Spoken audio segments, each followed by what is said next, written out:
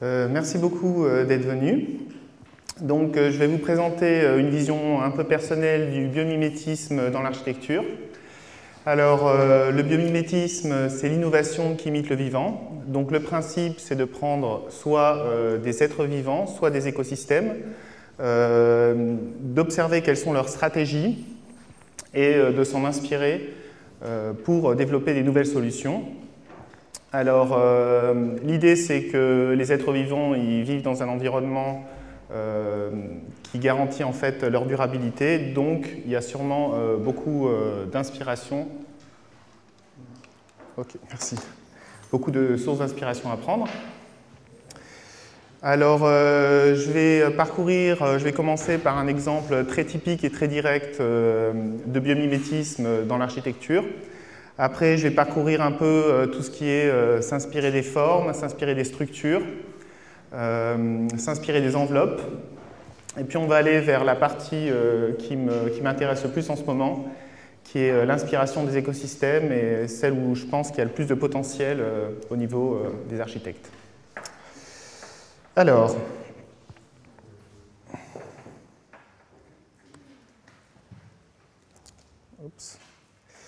Alors, euh, bon, je vais commencer par un exemple euh, que vous connaissez sûrement, que je vais essayer euh, d'expliciter un petit peu mieux. donc, c'est l'imitation d'une termitière, de sa régulation thermique.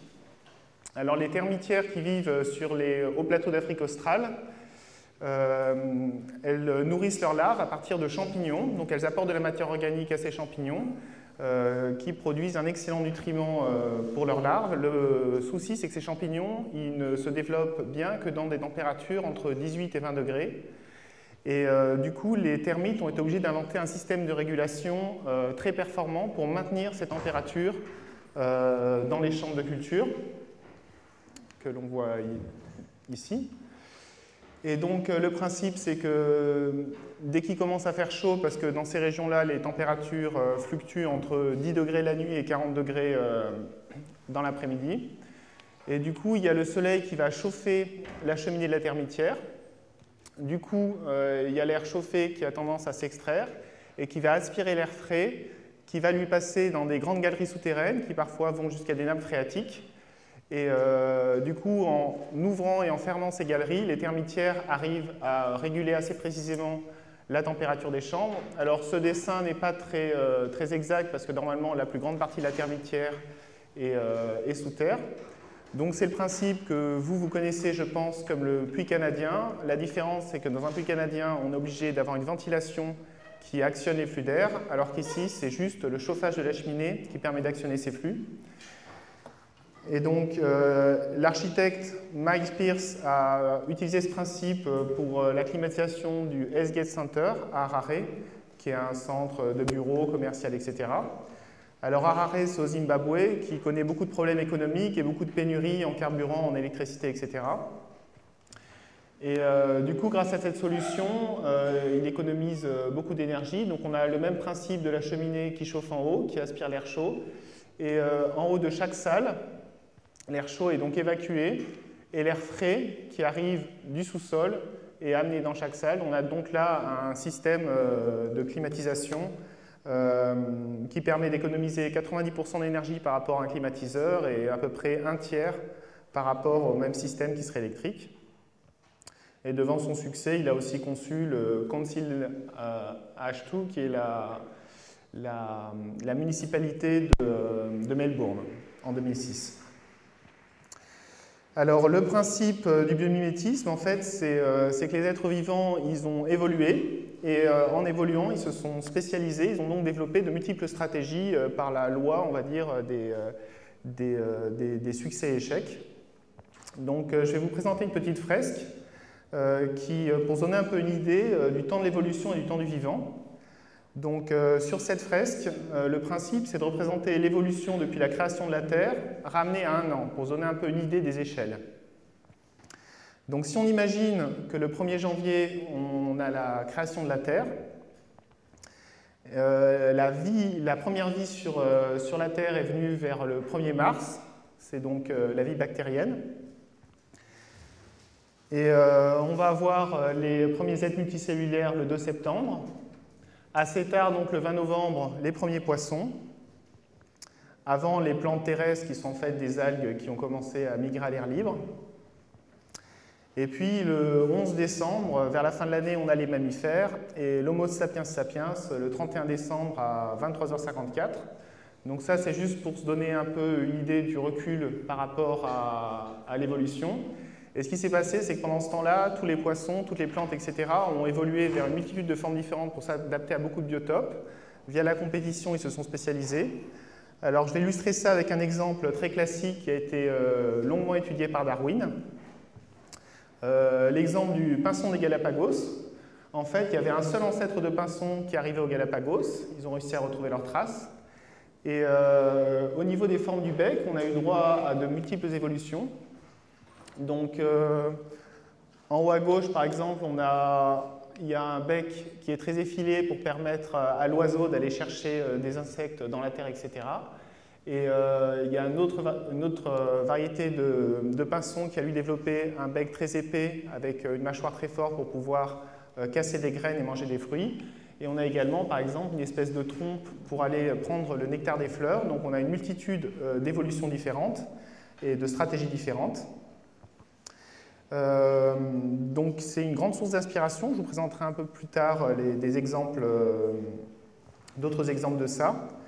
Et si, alors, si on regarde l'évolution de la biodiversité dans le monde, on s'aperçoit qu'il y a, d'après le, WWF et, l'ONU, on a une forte diminution euh, de la biodiversité puisqu'on est passé à peu près d'un indice 100 en 70 à 60 euh, vers les années 2000. Et donc c'est aussi une grande source de perte d'inspiration.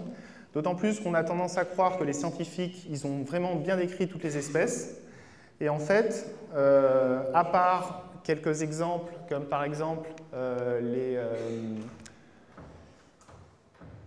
les mammifères, qui sont ici les vertébrés, pardon, les vertébrés ont presque tous été décrits, mais euh, pour beaucoup d'autres euh, espèces, comme par exemple les insectes, euh, les nématodes, c'est-à-dire les vers de terre, et les bactéries, on voit qu'il y en a très très très peu par rapport à la biodiversité qui existe qui ont été décrits. Et je vais revenir là-dessus, mais ils sont vraiment essentiels pour nos écosystèmes globaux. Et, ce serait très intéressant de mieux connaître comment ils fonctionnent. Et quand on parle de biodiversité, je vais aussi différencier plusieurs échelles. Euh, il y a la diversité génétique qui est énorme, puisque même au sein d'une même espèce, il y a vraiment beaucoup de profils génétiques différents. C'est ça qui permet sa résilience. ensuite, on a la diversité spécifique qui est la plus connue. Et on a aussi la diversité des écosystèmes, avec beaucoup d'écosystèmes différents. On va voir comment cette diversité peut aussi être une source d'inspiration. Alors, je vais, euh, moi je suis beaucoup plus, euh, je suis plus un ingénieur, donc je suis plus centré sur les principes techniques, mais je vais euh, m'orienter, je vais vous parler d'abord un petit peu de, ce que vous connaissez mieux, je pense, c'est l'inspiration des formes, donc on appelle aussi le biomorphisme, l'inspiration des formes du vivant. bien sûr, c'est très ancien, je vais prendre l'exemple certainement pas le plus ancien, mais Antonio Gaudi qui a beaucoup utilisé la nature comme source d'inspiration. Donc, euh, il a imité les arbres, par exemple, pour les euh, piliers de la Sagrada Familia. Il a utilisé des vagues euh, pour des galeries dans le parc Güell. Et chez lui, souvent, l'inspiration du vivant, c'était aussi pour, ça avait aussi une qualité fonctionnelle, puisque là, en fait, avec ces piliers en forme d'arbre, eh ben, en fait, il pouvait recruter, pardon, il pouvait, les arbres étaient sont vraiment des vecteurs des lignes de force. Et quand il a conçu sa cathédrale, euh, là vous avez à gauche une image, euh, une maquette, une image de synthèse de la cathédrale terminée, parce qu'elle n'est pas terminée. Et à droite, en fait, j'ai inversé l'image. Si on va dans les sols de la cathédrale, on voit en fait toute une série de fils, avec des petits poids. Et en fait, pour concevoir sa structure, il a regardé euh, l'optimisation des structures avec plein de petits poids qui représentaient en fait tout le poids de la structure et les formes compris ces fils, et, ben, et après, euh, c'est ceux qui épousent les structures de la cathédrale, à la seule différence que les fils travaillent en tension, alors que euh, les pierres de la cathédrale, elles, travaillent en compression. plus récemment, dans le domaine du biomorphisme, on a énormément d'exemples, donc j'ai juste fait une toute petite sélection. Donc l'aéroport de Lyon-Saint-Exupéry, que vous connaissez bien, je pense, a été inspiré d'un oiseau qui prend son envol. Il y a également le stade de Pékin dit en île oiseau, un restaurant qui imite, en Nouvelle-Zélande qui imite le nid d'un euh, un nid dans un arbre, et en bas la maison Nautilus euh, qui, euh, qui imite la forme d'un coquillage. Donc là, on a une certaine liberté que l'architecte a pu prendre grâce à la technologie pour faire des formes qui imitent le vivant qui sont assez audacieuses. Mais là, on s'éloigne pas mal d'une quelconque idée de développement durable, d'imiter les fonctions de la nature, on va dire. Il y a une autre, une autre idée que j'aime bien, même si elle est un peu, peu à la frontière, on va dire, c'est l'idée euh, euh, d'imiter un paysage vivant. Donc euh, Peter Vetch a beaucoup travaillé dans ce domaine-là, par exemple, avec le lotissement de Dietikon en Suisse, où il a fait des immeubles qui imitent, les collines. Et là, ça permet notamment de conserver une grande qualité de paysage, et également de garder de la biodiversité et de garder toutes les propriétés que peuvent avoir des habitats sous terre, comme la régulation thermique, euh, la régulation euh, des eaux d'orage, etc.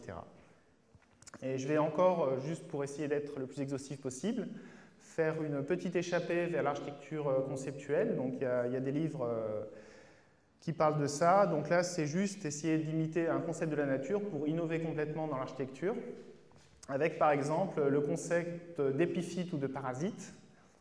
Donc euh, là, par exemple, à Rotterdam, il y avait une grande exposition euh, sur les parasites avec beaucoup de maquettes, tout un concours d'architectes là-dessus. Et le gagnant du concours, il a mis son petit parasite euh, donc sur, sur le toit d'un immeuble, d'un gros immeuble d'entrepôt. Donc le principe des épiphytes, c'est de, de, squatter, on va dire, un arbre, mais sans pour autant consommer ses ressources comme le font les parasites. Euh, il vit juste en fait avec l'eau qui tombe euh, et il, tire toutes ces substances, donc de l'eau de, de, pluie et des arbres. Donc voilà, tout ça, c'était différentes approches. Euh, moi, je vais donc peut-être plus esthétique et conceptuel. Donc moi, je vais repartir un peu sur le monde de l'ingénieur maintenant, avec notamment le concept des structures. Et je vais commencer par le premier exemple qui est peut-être véritablement assumé de biomimétisme, avec euh, la Victoria Regia House qui a été réalisée par Joseph Paxton en 1840. Donc euh, l'idée c'était de faire une serre euh, pour un nénuphar géant d'Amazonie parce que la reine Victoria était fascinée par la botanique et notamment par ces grands nénuphars Joseph Paxton a beaucoup impressionné le public en plaçant sa fille sur un nénuphar, sur une feuille de nénuphar, en montrant que, la feuille ne se déformait pas, que ça résistait très bien. Et ça, c'est grâce à ces nervures qui sont vraiment optimisées euh, pour, euh, pour une résistance maximale. Et du coup, il a conçu sa serre exactement selon euh, le même principe structurel, avec des nervures plus ou moins grandes et, la plus légère possible. plus près de nous, pardon, plus près de nous, Frey Otto a conçu en 67 euh, euh, le, pavillon de, l'Allemagne à l'exposition universelle de Montréal. Euh, là, l'idée, c'est d'avoir uniquement des structures en tension pour qu'elles soient les plus légères possibles. Donc, on a les poteaux qui travaillent en compression et des structures exactement comme des toiles d'araignée qui vont permettre d'avoir une structure très légère et une esthétique assez originale. Et quand il travaillait, Fred Otto utilisait beaucoup la, le savon, en fait, euh, qui, faisait voyager entre des structures, parce que ça lui permettait de définir vraiment les structures euh, minimales, puisque physiquement, le savon va épouser euh, ce qui lui permet de la, position optimale. Alors, ça, c'est Freyoto, c'est un des derniers exemples vraiment de biomimétisme des structures. Plus récemment, on trouve beaucoup de beaucoup d'exemples qui se prétendent plus ou moins du biomimétisme, comme par exemple euh, l'immeuble Swissre à Londres, qui a été conçu par euh, Norman Foster. Donc euh, cet immeuble épouse exactement la même structure qu'une éponge de mer, éponge de verre. L'éponge de verre a un squelette qui est très très fragile.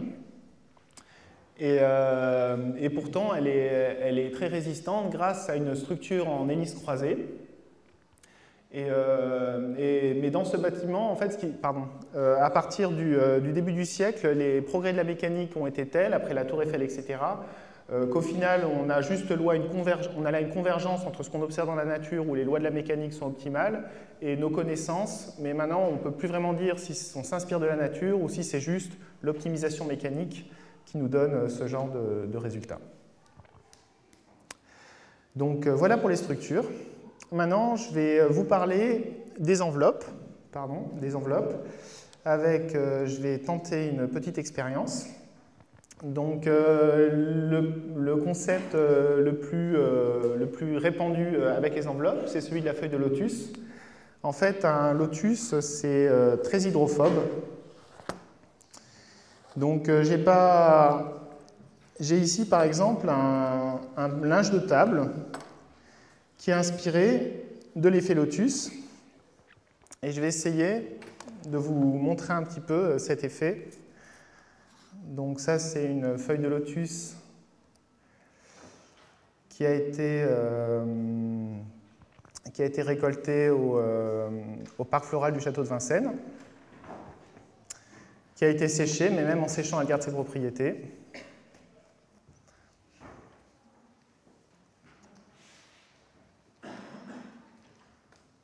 Bon. Hop. Ça va? Donc là, en fait, je vais avoir la feuille de lotus. Non.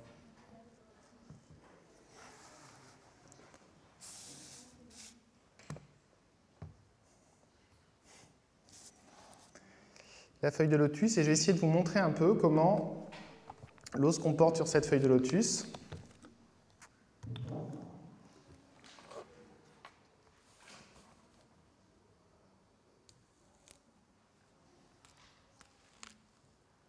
Là, on voit vraiment que, l'eau file complètement. Pardon, on voit vraiment que l'eau file complètement. Si on se place sur ce linge, on a exactement le même effet.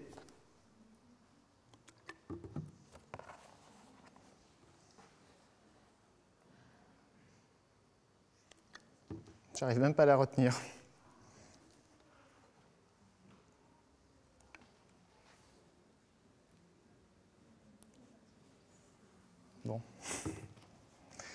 Et par contre, si on regarde la, la pochette, ça ne marche plus du tout.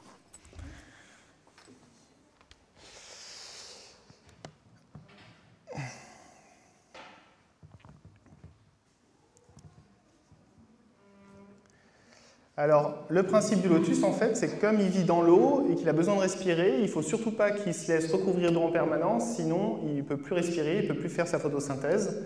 Et donc, il a développé cette aptitude exceptionnelle à repousser l'eau. Et euh, comment ça marche? Et eh bien, En fait, il y a plein de petits picots microscopiques euh, qui sont espacés chacun à peu près d'une dizaine de micromètres. Et au milieu de ces picots, il y a euh, de la cire, en fait, qui est hydrophobe, et du coup, la cire a tendance à repousser l'eau, qui va stagner, et les gouttes d'eau vont former des boules qui vont stagner en haut des picots. Et euh, du coup, si les poussières se, se, posent sur les picots et que par capillarité, l'eau emporte ces poussières, et le lotus a comme ça des propriétés qui sont auto-nettoyantes. Donc bien sûr, ça a inspiré beaucoup de choses, euh, il y a beaucoup de pare-brises en développement, etc. Mais le, produit qui est le plus euh, développé maintenant, c'est la peinture lotusane, où ils ont imité cette même structure et cette même composition chimique pour avoir un produit auto-nettoyant. Et donc, euh, quand l'eau et quand, y a des, quand les, surfaces se salissent et qu'il y a la pluie qui tombe sur ces surfaces, et eh ben, la pluie va entraîner les poussières et euh, on voit un petit schéma qui illustre ça, euh, qui illustre ça ici, où dans un temps normal, l'eau a tendance à s'accrocher et du coup les poussières elles restent. Et dans l'autre cas, on va avoir l'eau qui forme vraiment une boule avec toutes les poussières qui partent avec l'eau. Donc le principe, c'est qu'avec euh, des, des, peintures nettoyantes, elles sont beaucoup moins abîmées par le gel, il y a besoin de beaucoup moins de produits chimiques pour l'entretien. Et donc ces peintures euh, peuvent durer beaucoup plus longtemps. Et euh, c'est un peu le principe de l'éco-conception, où même si la peinture va être plus polluante à fabriquer, un peu plus polluante à fabriquer, si sa durée de vie est deux fois plus importante, du coup on en consomme deux fois moins, et euh, il y a un concept qui est plus écologique.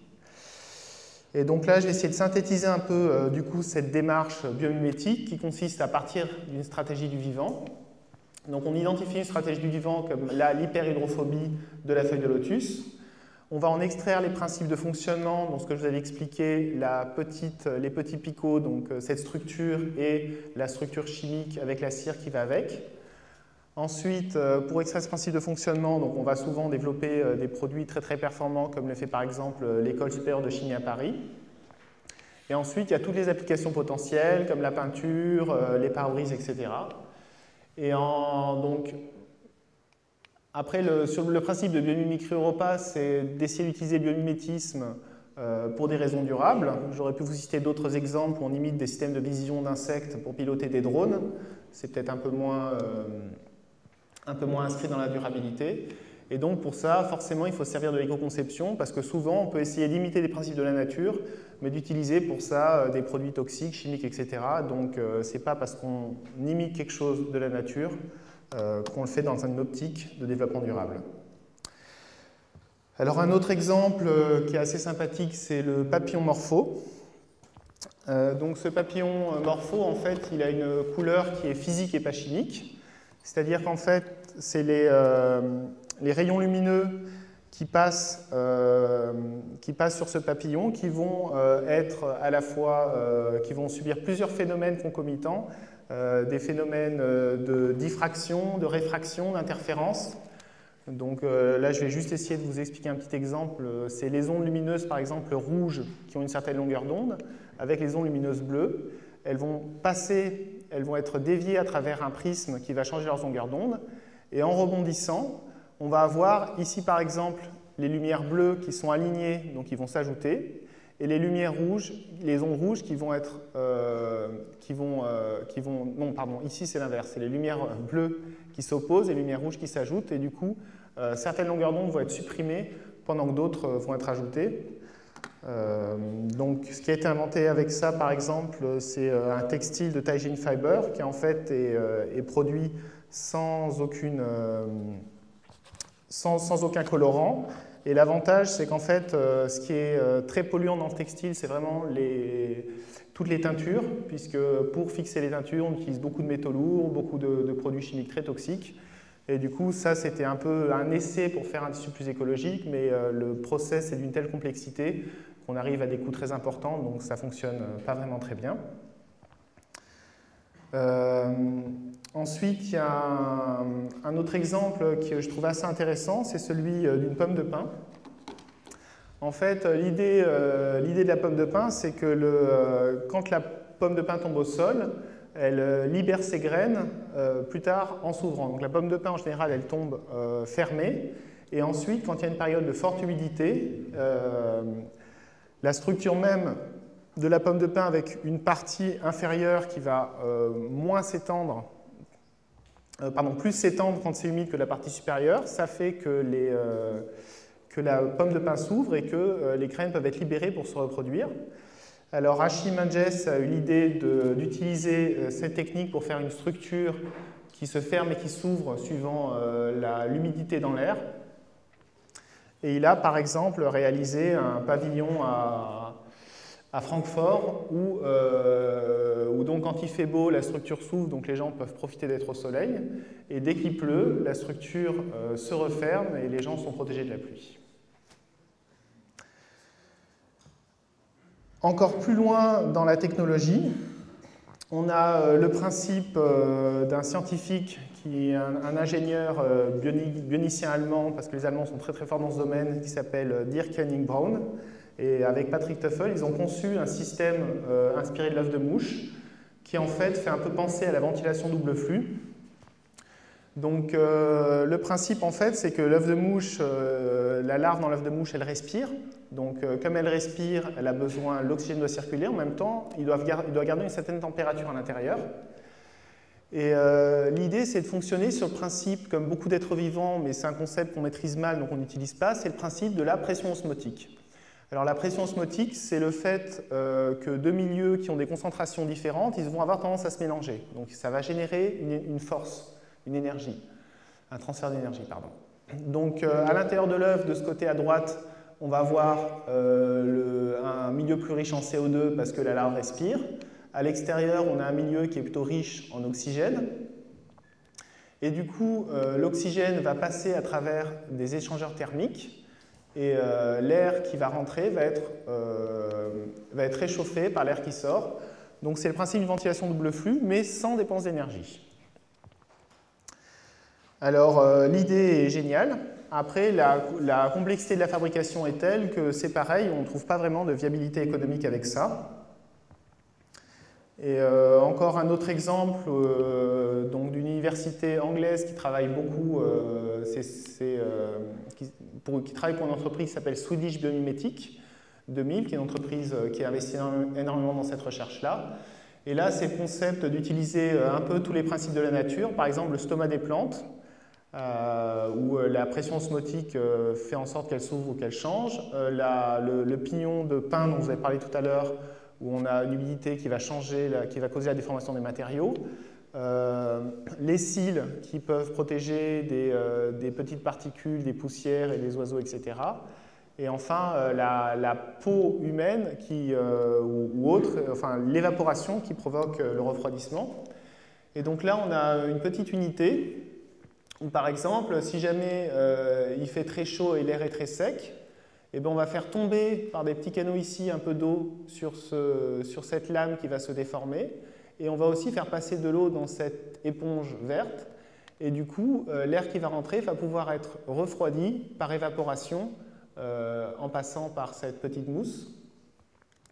Et euh, on va avoir aussi, si jamais par exemple il fait froid dehors, donc là on va pas mettre d'eau, du coup ça va, ça va se refermer et on ne va pas mettre d'eau dans l'éponge non plus, du coup ça va faire un isolant. Euh, il y a plusieurs modes de fonctionnement comme ça qui sont inspirés de ça. Donc là on voit qu'il y a beaucoup d'idées qui émergent avec le biomimétisme, mais souvent ça devient tellement complexe d'imiter le vivant euh, qu'on a du mal à faire quelque chose qui soit à la fois euh, commercialement et économiquement pardon, et écologiquement viable. Peut-être la dernière tendance qui est la plus la plus, euh, qui, est assez, pertinente maintenant à ce niveau-là, c'est le fait de s'inspirer des procédés dans le vivant pour fabriquer des matériaux.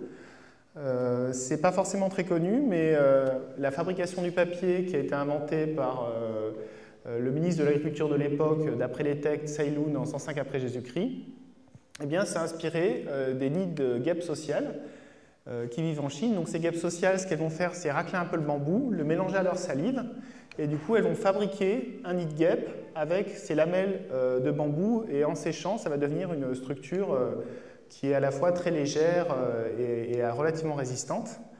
Et donc, Seilun a eu l'idée d'utiliser de l'amidon de riz avec de l'eau et du bambou pressé pour faire les premières feuilles de papier. Beaucoup plus près de nous, on a Columbia Forest Product qui a fait une innovation assez intéressante. Euh, si vous êtes dans l'architecture, euh, vous savez peut-être qu'actuellement, les normes de ventilation du bâtiment euh, qui, imposent des flux très importants de circulation d'air, elles sont beaucoup plus dues aux composés organiques volatiles qui sont relâchés par, par le contreplaqué, par la moquette, etc., qui sont très toxiques.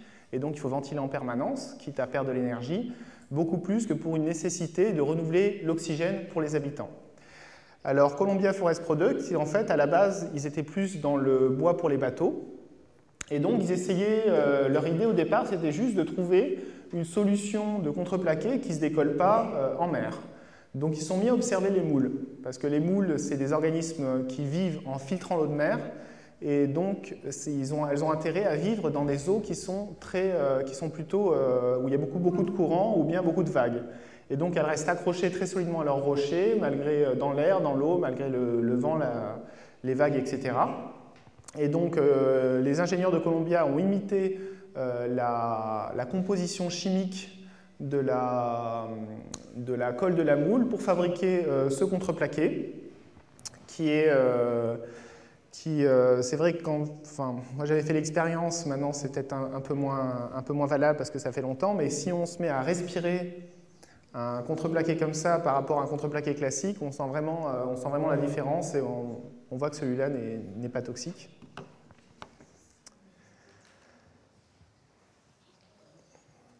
Alors, euh, au niveau des structures, il y a aussi euh, beaucoup à apprendre. Par exemple, avec euh, l'histoire de l'ormeau. Donc, l'ormeau, c'est un coquillage qui est très apprécié des gourmets et qui est très apprécié des loutres. Donc, les loutres, quand elles vont pêcher l'ormeau, elles essayent de le, déchirer avec leurs dents, elles essayent de le casser sur des rochers. Et du coup, l'évolution a fait en sorte que l'ormeau se donne d'une structure extrêmement solide pour pouvoir résister à ces attaques-là. Le problème, c'est que dans le milieu où vit il n'y a vraiment pas grand-chose, il y a un peu de matière organique et il y a du calcaire. Alors comment agencer de façon optimale ce calcaire et cette matière organique? Eh ben, L'idée, c'est de les agencer en couches. Alors bon, le, terme résistant et cassant n'est peut-être euh, pas très adapté, mais en gros, si on a une craie, on peut la briser très facilement. Par contre, si vous prenez une craie et que vous essayez, sans faire le moindre choc, de la découper avec un ciseau, vous allez percevoir que c'est très difficile. En fait, la, craie résiste très bien à, une sollicitation euh, de, déchirure, on va dire, de coupure. Et euh, le biopolymère, par contre, donc qui est un peu comme un caoutchouc, lui, vous avez beau le frapper avec un marteau, il ne va pas se casser. Par contre, si vous vous mettez à le découper avec un ciseau, il va tout de suite euh, se déchirer. Donc en utilisant ces deux matériaux, on obtient une structure extrêmement résistante puisque si jamais on frappe par exemple euh, sur ce matériau, la première couche de craie, elle va casser, et après les fissures vont essayer de se, vont se répartir et être absorbées par le caoutchouc, et du coup ça fait une structure qui est très résistante. Alors on est loin du développement durable, mais pour l'instant l'application c'est le euh, blindage le plus résistant du monde. Euh, ici on voit une image qui est tirée donc, de l'Université de Californie où les, où les chercheurs font ces recherches-là. Et on voit euh, une, balle en tungstène, donc le tungstène c'est vraiment ce qui se fait de plus solide, qui est lancé à 3200 km/h euh, sur euh, des couches en aluminium alliage titane qui représentent les propriétés, on va dire, de la craie et, du polymère, et, qui, il a comme ça réussi à obtenir un blindage extrêmement résistant. Donc en dehors de ces applications, il y a d'autres chercheurs qui travaillent sur des solutions possibles. un peu plus durable au niveau du procédé, on a une technologie qui est issue de la restauration des récifs coralliens. L'entreprise Bioroc a conçu des... Euh, pour, restaurer les récifs coralliens, ils ont conçu des grilles qui mettent sous, euh, qui mettent sous la mer et qui vont permettre de fixer euh, le calcaire présent dans l'eau et de permettre ainsi la recolonisation par les coraux. Pardon. Et le principe, c'est de faire passer un courant très faible et avec ce courant très faible, le carbonate de calcium, en fait, il va précipiter. Donc, le carbonate de calcium, c'est le CaCO3. Donc, c'est juste en fait du calcaire, de la craie qui est dissoute dans l'eau. Et si jamais euh, on a une précipitation, c'est-à-dire euh, ce qui est dissous devient solide, euh, normal, ça fait juste de la poudre. Et avec le courant, tout est ordonné, les molécules sont ordonnées de telle sorte qu'on arrive à une structure de cristal qui est beaucoup plus solide. Et donc avec ce principe, qui est vraiment la façon dont les coquillages se forment dans la nature, ils ont réussi comme ça à restaurer des récifs coralliens. Et ça, euh, ça fait un peu l'inspiration de quelques architectes comme Tommy Burgess, qui imaginent euh, des solutions comme par exemple des piles de pont ou autres, avec juste des structures de bambou euh, sur, lesquelles on, sur lesquelles le calcaire viendrait, viendrait se solidifier. Donc avec euh, toutes ces inventions, euh, il, y a, en ce moment un essor assez important du biomimétisme. Donc les raisons, déjà, c'est les progrès que nous on fait en matière avec les, microscopes à effet optique, etc., pour aller voir comment ça, beaucoup mieux comment ça se passe dans le vivant, et les progrès aussi des technologies de fabrication. Et ce qui illustre ça déjà, euh, bon ça c'est un, rapport qui est déjà un petit peu ancien, mais ça montre un peu l'essor du biomimétisme. Donc ce rapport est paru début 2010, c'est pour ça que les données sont un peu tronquées. Mais là, on a le nombre de publications sur le biomimétisme à gauche, qui ont cru de façon exponentielle, et à droite, on a le nombre de publications scientifiques où le biomimétisme est cité. Donc on voit que c'est vraiment quelque chose qui est en plein progrès dans la recherche. Et du coup, bien sûr, ça existe appétit. Et il y a une société qui s'appelle le Fermanian Business and Economic Institute qui a publié une étude où il y avait tous les potentiels de croissance avec euh, le potentiel de croissance qui pourrait être lié au biomimétisme pour tous les secteurs, construction, euh, transport, etc. etc. Et euh, du coup, ils ont évalué que pour les États-Unis, ça pouvait leur rapporter un, ça pouvait leur apporter euh, un impact de 300 milliards de dollars sur leur PNB. Donc il y a beaucoup d'universités là-bas, le MIT, euh, l'Université de Californie, etc., qui travaillent énormément dans ce domaine-là. Alors, euh, il y a le Biomimicry Institute, qui est donc une association qui promeut le biomimétisme pour la durabilité, qui a fait en fait un site où ils décrivent toutes les stratégies des organismes vivants et euh, tous les chercheurs qui travaillent dessus et toutes les sources d'inspiration possibles. Donc vous avez un moteur de recherche, vous pouvez mettre euh, plein de fonctions, vous pouvez mettre euh, climatiser, vous pouvez mettre résister à ci ou à ça, vous pouvez mettre un peu tout et il colorer, etc. Et il va vous donner toutes les listes d'espèces sur lesquelles il y a des recherches par rapport à cette fonction et les scientifiques qui travaillent dans ces domaines-là. Donc il présente la stratégie de l'organisme pour pour remplir cette fonction. Il présente toutes les applications potentielles. Il présente la taxonomie, c'est-à-dire où est-ce que ça se situe euh, dans la description euh, du vivant, du végétal, de l'animal, etc. Et ensuite, toutes les références euh, scientifiques et les publications qui sont en rapport avec ça. Dans tout ce que je vous ai euh, présenté, euh, il y a beaucoup de choses qui sont géniales, mais souvent ça relève d'un processus très long qui passe par des laboratoires de recherche qui sont très difficiles parfois à mettre en, pratique. Et euh, on parle aussi beaucoup du biomimétisme des écosystèmes. Donc euh, le biomimétisme des écosystèmes, c'est imiter, euh, les, euh, imiter donc les écosystèmes. Et quand moi j'ai commencé à faire des présentations, des, formations dans le domaine du biomimétisme, je me retrouvais toujours bloqué à un manque d'exemples sur ce domaine-là.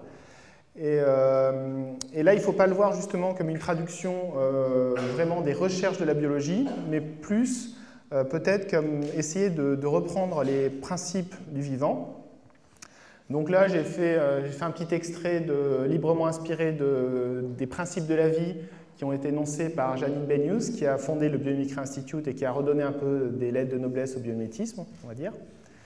Euh, donc euh, le principe de la vie, c'est qu'à chaque fois, la forme est exactement adaptée à la fonction, parce que les êtres vivants, ils ne gaspillent pas.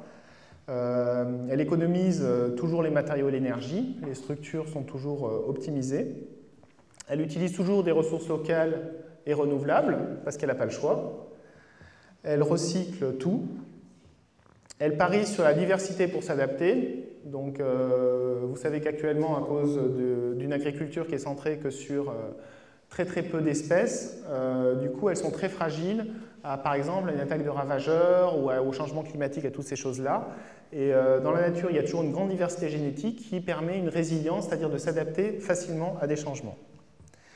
Et ensuite, elle utilise les contraintes euh, comme source de créativité, mais pour ça, je crois qu'on fait tous un peu pareil.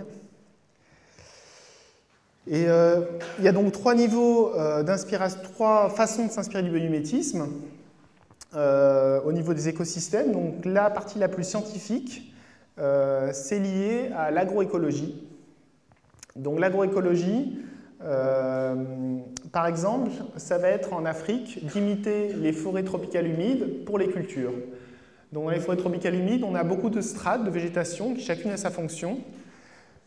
Et en essayant de copier les modèles d'agriculture conventionnels en Afrique, ça a été un échec cuisant avec le lessivage des sols, euh, la manque de perte de fertilité, etc.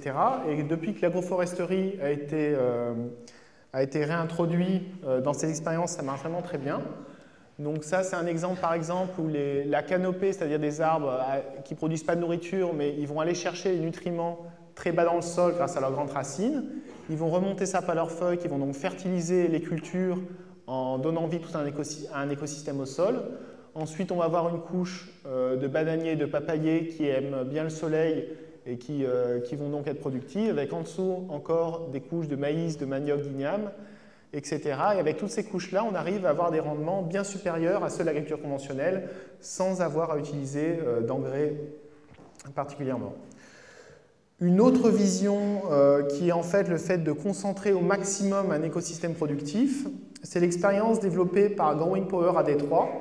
Donc, euh, dans toute cette région des États-Unis, la région des Grands Lacs, il y a une grande, une grande perte d'emplois au niveau des industries et autres qui ont fait que beaucoup de gens se sont retrouvés sans travail, euh, souvent ils ont été expulsés de leur maison, etc. Et donc, euh, j'ai un...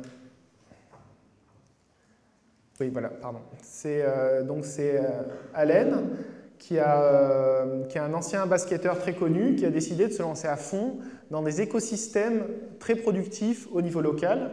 Donc son principe, c'est qu'il va concentrer sur une toute petite surface beaucoup de cultures, production de compost avec les déchets organiques, euh, production de poissons avec d'autres déchets, etc. Et il arrive sur un espace minuscule à cumuler à la fois un élevage, des poules, des poissons, euh, des cultures, et à montrer en fait que dans la ville, parce qu'il y a beaucoup d'endroits abandonnés et étroits, on peut refaire des, systèmes de production productifs, euh, et, donc que les gens peuvent se réapproprier leur alimentation. Et ça, c'est d'autant plus important aux États-Unis qu'il y a beaucoup ce phénomène de desert food, c'est-à-dire il y a beaucoup de, zones où les gens n'ont pas forcément de véhicules et ils sont obligés d'aller s'approvisionner euh, uniquement à la station-service, donc ils mangent exclusivement des chips, des hamburgers, etc. Et il y a d'énormes zones, il y a une carte qui a été dressée qui est assez intéressante, il y a d'énormes zones où, en fait, où la population n'a accès à aucun euh, légume frais. Alors au niveau de l'inspiration des écosystèmes, bien sûr, euh, il y a ce fameux principe de transformer les déchets en ressources. Et un des exemples très connus euh, de ce qu'on appelle euh, l'écologie industrielle, où on essaie de fonctionner en circuit fermé, c'est plus on aspire des ressources et on rejette des déchets. C'est un espèce d'écosystème industriel qui part d'une raffinerie de pétrole et d'une centrale électrique au charbon. Et en fait, bien sûr, l'eau chaude va être utilisée pour chauffer des habitations, pour chauffer des serres, ça c'est très classique. Et ce qui est un peu plus original, c'est que par exemple, tout le soufre qui sort euh, des cheminées de la centrale électrique vont passer, euh, vont être euh, précipités grâce à un autre élément, et avec ça, ils vont fabriquer des panneaux de plâtre pour la construction. Donc comme ça, non seulement ils dépolluent les, fumées de leurs usines, mais en plus ils fabriquent des matériaux. avec les cendres de ces cheminées, ils fabriquent du ciment. et comme ça, il y, a, il y a tout un écosystème industriel qui se met en place avec toutes les critiques qu'on peut lui donner. Euh, bon, déjà, le biomimétisme s'est beaucoup inspiré de cet exemple pour le citer, mais en réalité, euh, c'est vraiment issu d'une culture euh, scandinave de solidarité, du fait que c'est le seul port en eau profonde accessible toute l'année. Donc, du coup, c'est ce qui permettait l'arrivée des bateaux, donc l'installation de tout ce, monde industriel autour. Et actuellement, il y a beaucoup d'essais d'écologie industrielle qui sont, qui sont expérimentés en Europe. Et les seuls, où ça les seuls qui arrivent un peu à se développer, c'est les Suisses. Mais sinon, euh, souvent, la, culture du fait de ne pas vouloir dépendre de son voisin pour son approvisionnement fait que ça marche euh, difficilement. Et c'est souvent très complexe à mettre en place. Ce qui est euh, un peu plus facile à mettre en place et qui se développe beaucoup en ce moment, c'est la méthanisation. Vous en avez peut-être déjà entendu parler. À Paris, par exemple, il y a trois grandes usines de méthanisation qui se construisent, qui sont destinées à absorber euh, les déchets organiques de la ville pour produire par cogénération de la chaleur, de l'électricité. Et euh, du coup, le principe, c'est de recréer un peu des boucles comme un écosystème où tous les déchets organiques euh, vont être recyclés et méthanisés. On aura comme ça à la fois du biogaz pour avoir de l'électricité, à la fois des fertilisants pour l'agriculture, puisque une fois que le gaz s'est fait par ce procédé-là, on peut, euh, tout à fait utiliser, s'il n'y a pas de polluants, ces bouts euh, euh, pour fertiliser. Enfin, la troisième vision des écosystèmes, c'est rendre les mêmes services qu'un écosystème. Donc les services d'un écosystème, ils sont vraiment multiples. Il y a bien sûr les services d'approvisionnement, le fait d'avoir du bois, de la nourriture et autres. Les services de régulation, donc régulation des températures grâce à l'évapotranspiration des, végétaux les services de régulation des eaux d'orage, parce qu'une terre sèche, ça va absorber l'eau, éviter de, saturer des réseaux, euh, les services euh, de filtration, des services aussi qu'on peut dire culturels, comme les paysages et autres, et les services d'appui, comme la formation des sols, euh, le recyclage des éléments nutritifs, etc. Alors, à force d'observer tous ces exemples-là et de chercher des exemples, euh, j'avais envie de tenter une expérience qui puisse euh, vraiment euh, apporter, essayer, on va dire, des solutions à, ces trois niveaux de bénéfice d'écosystème qui soient relativement simples à appliquer. Alors, avec un ami, Nicolas Marchal, on a lancé le projet de toit productif à AgroParisTech. Donc, AgroParisTech, pardon, c'est l'école des ingénieurs du vivant située dans le 5e arrondissement à Paris. Et on leur a proposé un projet qui visait à cultiver sur des toits, mais cultiver sur des toits uniquement en utilisant les ressources de la ville. Donc actuellement, si vous voulez cultiver sur un toit, comme c'est très à la mode aux États-Unis, à New York ou à Montréal par exemple, eh ben, vous devez utiliser de la tourbe. La tourbe, en fait, ça détruit des écosystèmes très fragiles, euh, qui mettent à peu près 100 ans pour euh, se renouveler d'un seul centimètre. Et euh, du coup, c'est une ressource qui n'est pas renouvelable. Et sinon, on peut utiliser de la terre, mais la terre, c'est extrêmement lourd. Il y a toujours la question de l'énergie qu'on prend pour l'amener, de l'écosystème qu'on détruit quand on va la prélever et aussi de tout le surcoût et le bétonnage entraîné par, le poids de la terre, qui a une densité à peu près deux fois et demi supérieure à la tourbe. Et donc l'idée, c'était d'utiliser uniquement les déchets organiques de la ville. Donc les plus courants, c'est le compost, qu'on produit de plus en plus en pied d'immeuble, et le broyat de bois qui peut être issu des chutes d'élagage.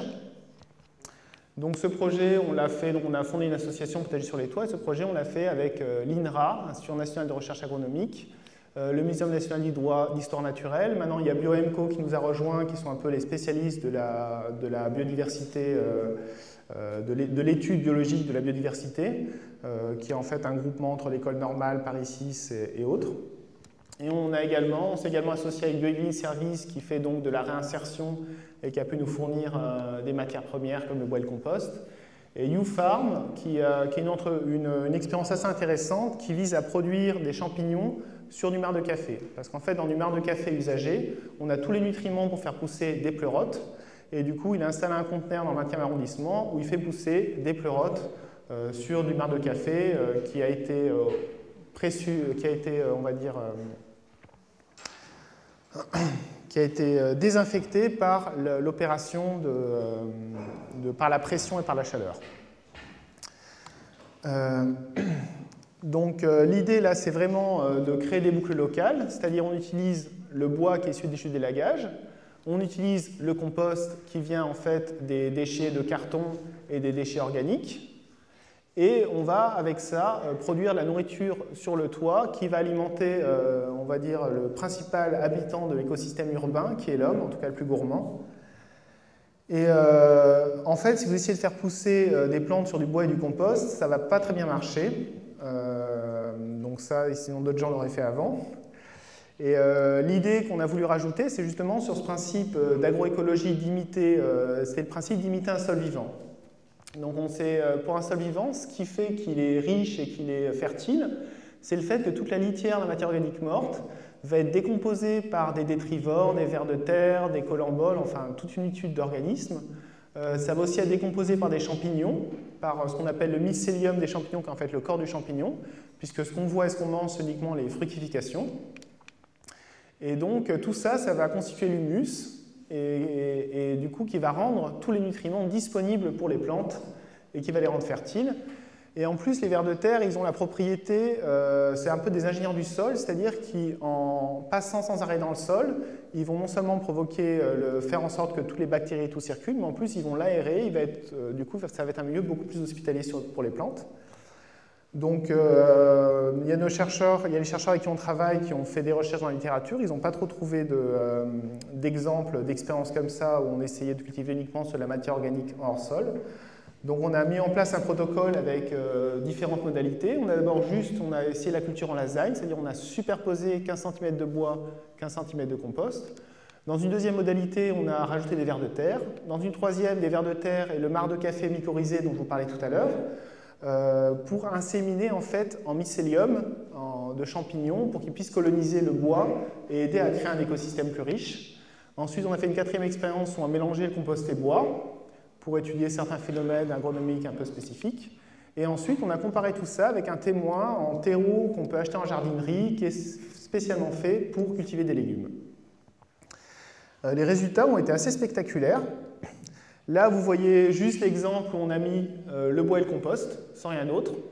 Et là, l'exemple, on a mis bois et compost et vers de terre. Donc ça, c'est des salades qu'on a récoltées récemment. On a fait des cultures de, de tomates, des cultures de salades en succession. Et en fait, le terreau, au début, il a bien donné les, premiers mois. Et puis après, il s'est mis à complètement perdre sa fertilité. Et une des raisons, c'est le lessivage par les pluies, c'est-à-dire la pluie qui tombe, elle finit par emmener facilement tous les nutriments qui, sont, qui, qui se dissolvent facilement. Et tout ça, ça part dans les canalisations d'eau usée. Ça provoque des phénomènes comme ce qu'on appelle l'eutrophisation des cours d'eau, c'est-à-dire le fait d'amener trop d'éléments nutritifs, qui fait une prolifération d'algues, qui enlève l'oxygène et qui détruit l'écosystème. Et donc là, c'est un peu le, phénomène de lessivage. On fait l'hypothèse que c'est ça qui a, fait perdre euh, de la fertilité au compost, au, euh, pardon, au terreau. Parce que là, c'est bois et compost euh, sans verre de terre, mais le terreau, c'est encore des résultats qui sont moins intéressants. Et, alors que dans l'autre cas, ce qui se passe, c'est que le bois et le compost qu'on avait mis, eh les vers de terre et tous les organismes, ils ont en fait minéralisé progressivement, c'est-à-dire ont progressivement prélevé les nutriments du bois, les nutriments du compost pour pouvoir les transmettre aux plantes. Et du coup, ce phénomène de lessivage, il est euh, largement atténué. Et en plus, le terreau va avoir tendance à se tasser, alors qu'avec les vers de terre, on va avoir tout qui est, qui. On a aussi essayé bon, euh, de, se rapprocher au maximum euh, pour, éviter le lessivage de nutriments de, ce qu'on peut observer avec certaines nappes phréatiques superficielles où euh, il y a euh, les, pluies qui embarquent les nutriments, qui restent dans des poches d'eau, et du coup les arbres aux racines profondes vont les plonger dans ces nappes phréatiques et ramener ces nutriments à la surface. Et donc là, dans nos bacs, on a prévu des réserves d'eau qui permettent, du coup, quand il pleut, cette réserve d'eau se remplit, les nutriments, certains nutriments descendent avec, mais les racines vont aller les, récupérer.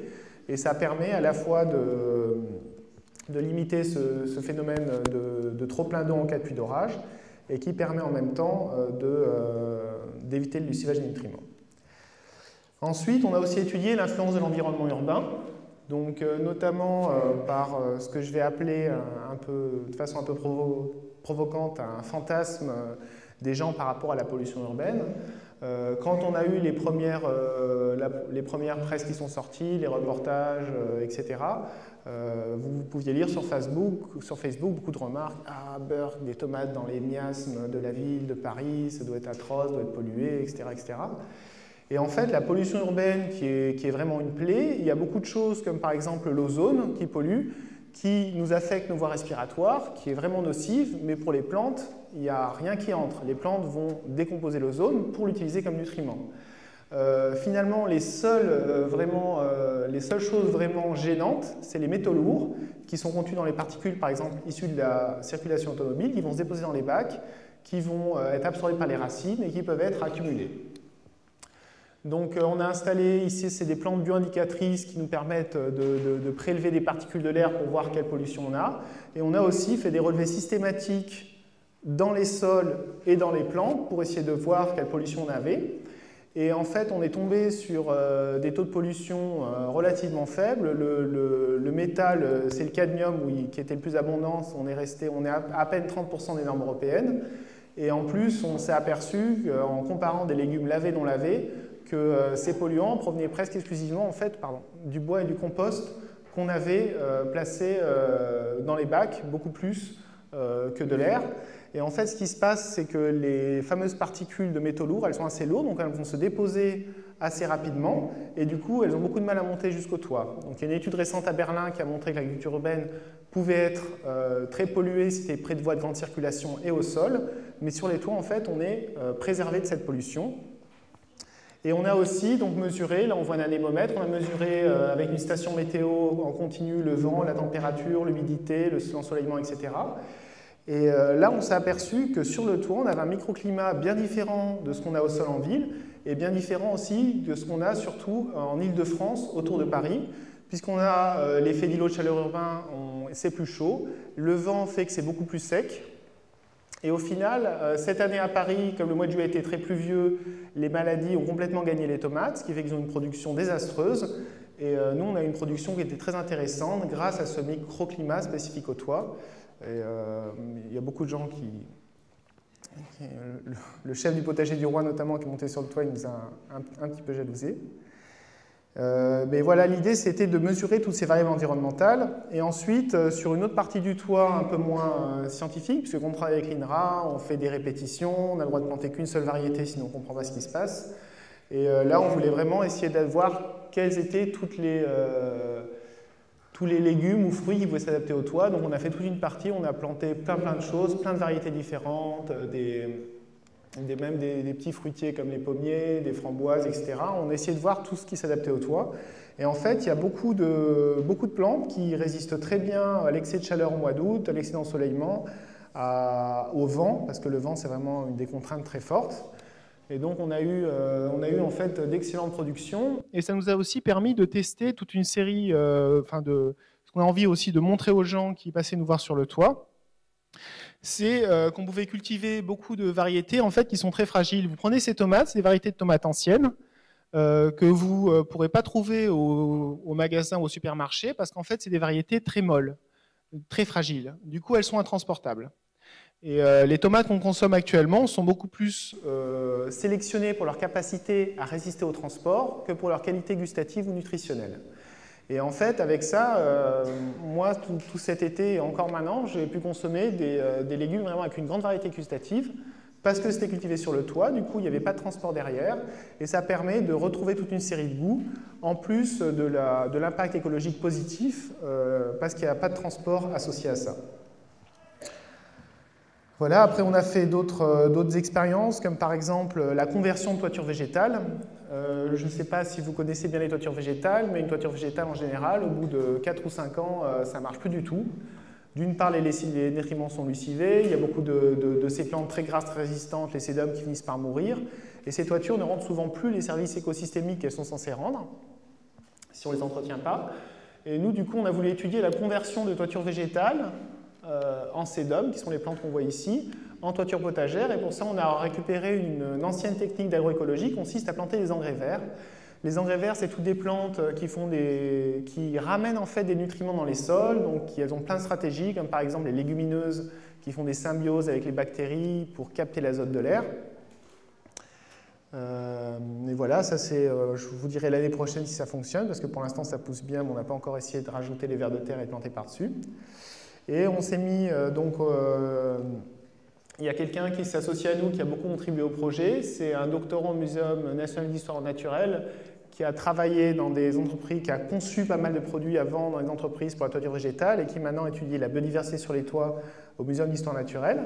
Et là, on a voulu faire un autre essai, c'est-à-dire euh, favoriser la biodiversité tout en rendant les mêmes les services écosystémiques dont je vous parlais de réguler l'eau, la température, etc mais en mode sauvage. Donc là, on a planté une prairie d'aromatiques sauvages, donc avec euh, des sédums, ces plantes grasses qu'on voit en bas, des herbacées comme la menthe, euh, la sauge, etc., des arbustes euh, aromatiques comme le thym, le romarin et autres.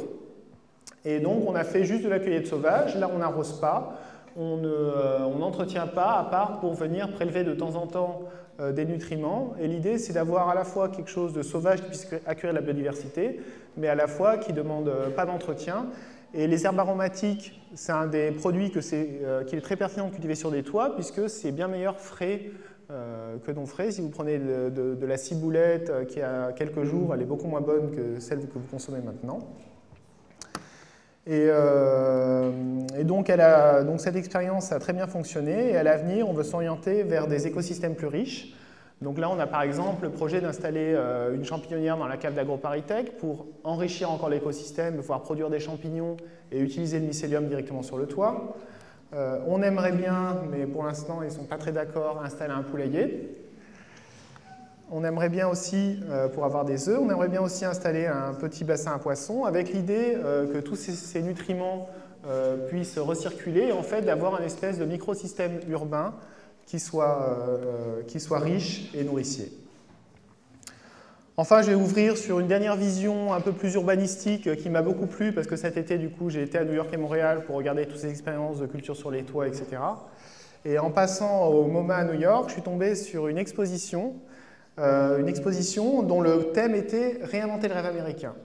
Euh, le principe, c'était qu'on ne pourrait jamais développer, euh, de réussir le développement durable aux États-Unis tant qu'on n'inventerait pas le rêve américain, parce que le rêve américain, pour l'instant, c'est la petite maison dans le condo, avec la grosse voiture, etc. Et tant que les gens rêvent à ça, on ne trouvera pas des solutions durables pour que chacun ait sa petite maison, avec son condo, avec sa grosse voiture.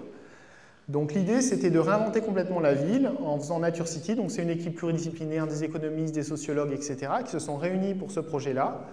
Euh, qui est une ville à peu près entre, euh, au sud de Seattle, qui est un, projet. Et donc là, ils ont pris un peu tous ces concepts-là, de faire un immense centre de compost qui produit donc du gaz, qui permet de chauffer les piscines publiques qui sont en haut. Donc récupère tous les déchets organiques de la ville, bien sûr des potagers sur les toits. bien sûr des corridors pour que la végétation, pour que la végétation puisse passer. Et voilà, je voulais juste vous montrer ce projet parce que je le trouvais très bien et assez adapté. Bon voilà, j'ai un, peu, euh, un peu dévié de ce thème, euh, on va dire, du biomimétisme technologique, mais moi il me semblait que ce biomimétisme des écosystèmes, où euh, on avait finalement une vision un peu plus intégrée du développement durable, si on cherchait à s'inspirer des concepts de la nature, était relativement intéressante. Je vous remercie pour votre attention.